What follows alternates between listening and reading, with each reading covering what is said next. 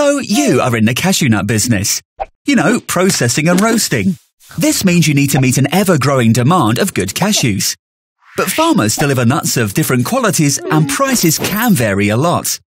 And because it's almost impossible to trace the origins, there's no way to get involved in improving production. Isn't there an easy way to collect data on quality and quantity? This is Triple S, Sustainable Supply System.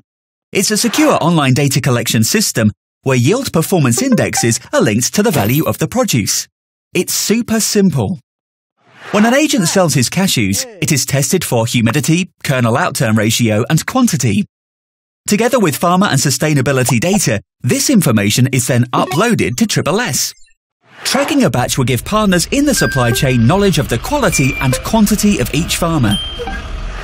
When a farmer is aware of the quality of his cashews and the appropriate value, he or other investors will have a better incentive to invest in his farm. Now you know exactly which farmer could use a bit of extra training or resources.